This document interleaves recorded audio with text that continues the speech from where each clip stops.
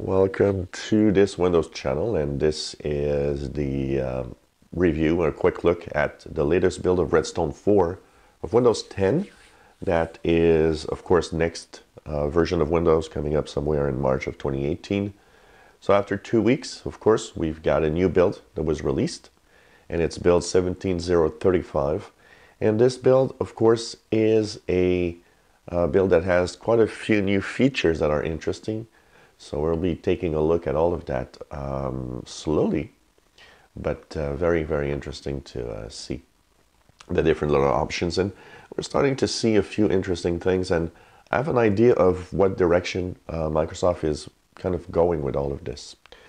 So first things first, you know those annoying web pages that you go to and, you know, I'm thinking of, for example, ZDNet or uh, even CNET that have auto-playing videos and you just, you know, it's kind of annoying. Well, now when you're in a tab, if you right click on the tab, there's mute tab. Now here, this one is uh, grayed out because this page doesn't play audio. But if you have automatic audio playing, you'll be able to click mute tab. And so it's going to remember that this is a mute tab. So every time you go back to the web page, you actually will not hear the audio. And this is a good, good thing because too many web pages have darn audio playing all the time. And you know sometimes you don't even know where it's coming from in the page it's just you know darn um, annoying. So uh, mute tab. Mute tab is now there to um, remove the audio. Um, there's an improvement if you have EPUB books. Now EPUB books are um, you know can be read and, and modified within Edge and this was one nice feature that was added to Fall Creators Update but one of the things it did not let you do is save the electronic publications on your PC. Well, now there's a little disk icon. You can click on it and it will actually have you save that book uh, anywhere you want, which is a very, very welcome new way of doing things. Um, of course, it doesn't work if you have DRM books. That means that they have digital right managements, but they are, uh, it is nice to have that also. A new context menu for books. So if you have purchased books, you can right click. You can say remove from device. You can view and store. You can pin to start if you wish. So uh, these are new options that are interesting and available. There's a new feature. If you have more than one, now unfortunately I have only one uh, insider machine right now, so I can't really test it out. But there's a new near share uh, option. So when you are uh, uh, on any places where you can share basically, um, when you click, the option of near share will appear.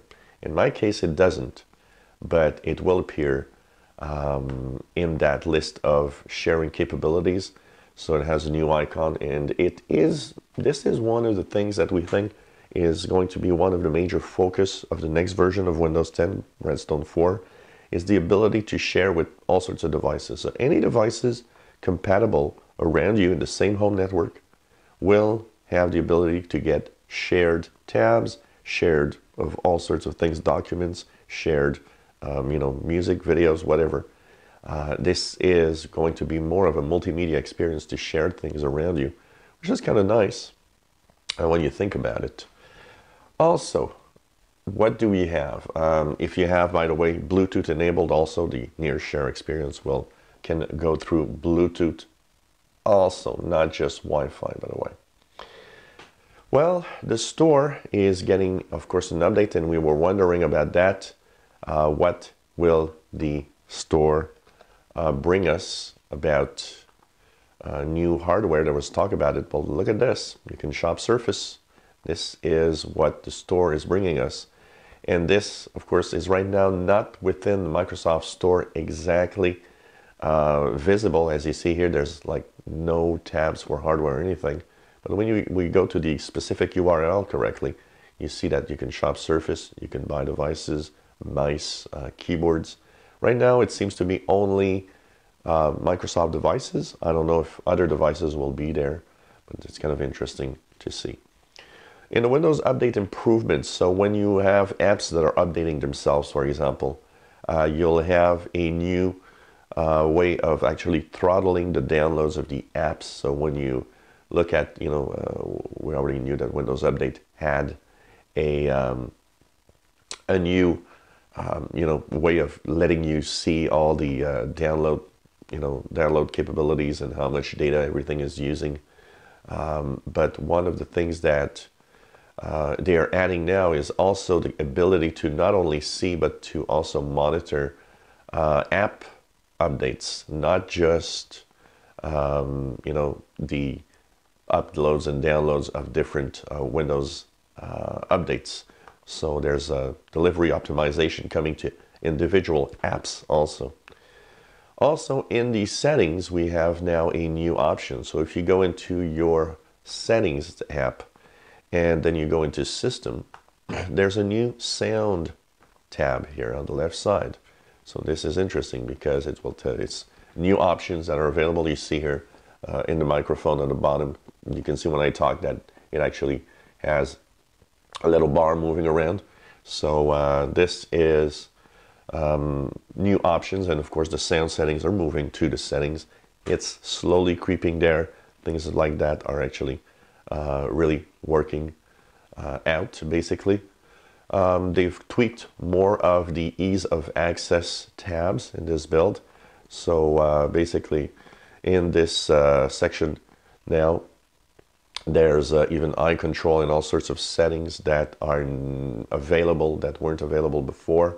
So here you see that there's audio stuff. They've added some new sections that weren't there in the last build. Uh, high gaze control, stuff like that. It doesn't work yet though. If you want to try to use that option, don't try it because it's not working, but it is there. Uh, what else do we have? Acrylic, of course, the Fluent Design coming to the touch keyboard. So for those that are using touch keyboard, uh, Fluent Design apparently coming to uh, the touch capabilities of uh, the uh, operating system. So if you uh, wish to use a touch keyboard in some instances, it now starts to have a Fluent Design, which is very, very nice. when you think about it, you, you, you, need to have all of that everywhere within the system. So, um, you know, it's little add-ons here and there of the design of Windows 10 basically. Um, more keyboards and more options also available in the handwriting and all the, the, the, the uh, these options are actually updated. Japanese input method updated with all sorts of new things. And uh, they say that uh, introducing the ability to take suggestions while typing on a hardware keyboard. So there will be suggestions available when um, you go and take uh, notes, for example, if you uh, use a, a, sticky note or whatever, there will be now a possibility to have suggestions while you're typing on your PC uh, that will, of course, try to have this work. It uh, is an opt-in feature that works for English language only right now uh, with US support, but it is very, very interesting. Uh, if you want to enable it, you go to the settings you go into the time and language settings.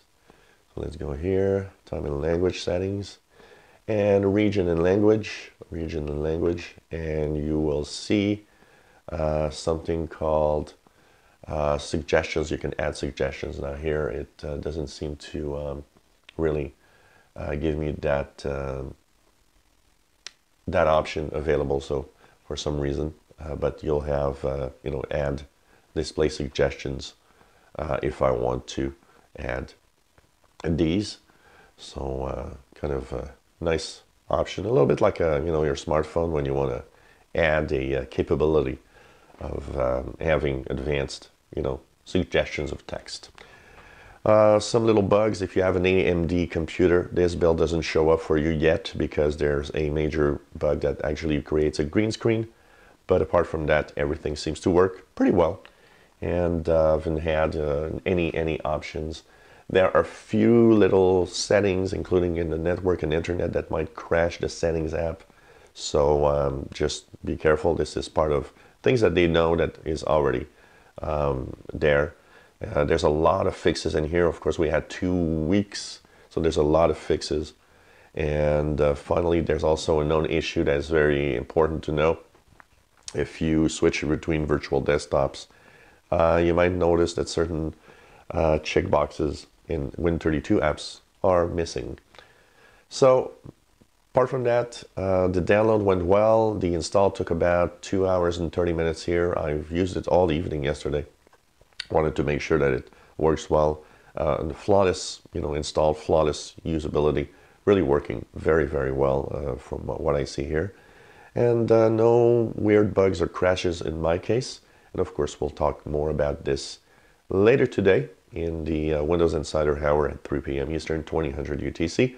Hope you can join us on this live show. If you enjoy my videos, please subscribe, give us thumbs up. Thank you for watching.